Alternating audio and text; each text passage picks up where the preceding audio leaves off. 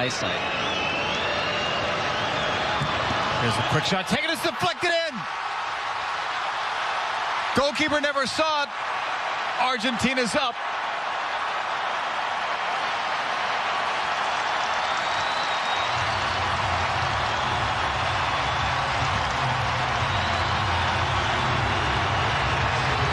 Well, the perfect start for Argentina didn't come from the run of play, didn't come from Mr. Messi's left foot, but Lamela will take it.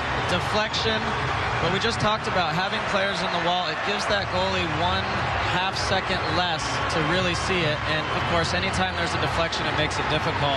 But Argentina do a good job. Maybe not fully deserved to be up quite yet, but these are a big part of the game, and, and that'll give them a lot of confidence going forward. Lamela's second. This we didn't often have two victories in the first hmm. two games. Ball pushed ahead on the right.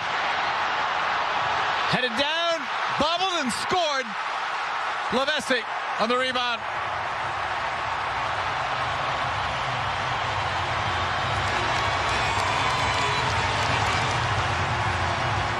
Two goals in about three minutes.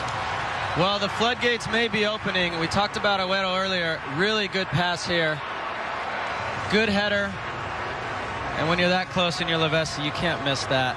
We just talked about Lamela and how that'll help his confidence. Well, guess what? This is going to help Lavezzi's confidence. Argentina 2 0, and now you can say fully deserved.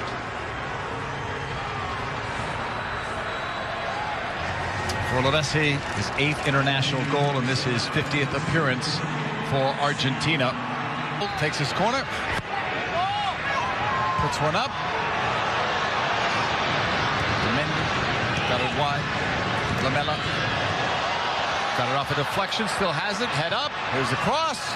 It's behind a couple of players. Shot by Aguero and blocked. Lavezzi. There's another one. That was deflected in.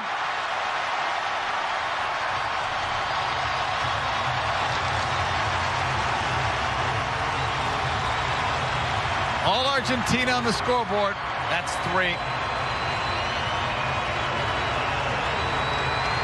Argentina are good enough without getting lucky bounces, lucky deflections. They got one on the first goal. This ball gets struck by Agüero and it bounces right into Lavezzi's path. Hits it hard across the goal. I'm not sure he's trying to pick out Lamela, but puts it in a good spot. Or I'm sorry, Cuesta puts it in a good spot, and that's a really, really good finish from a center back. That's not easy. It is his first international goal, and this is second appearance.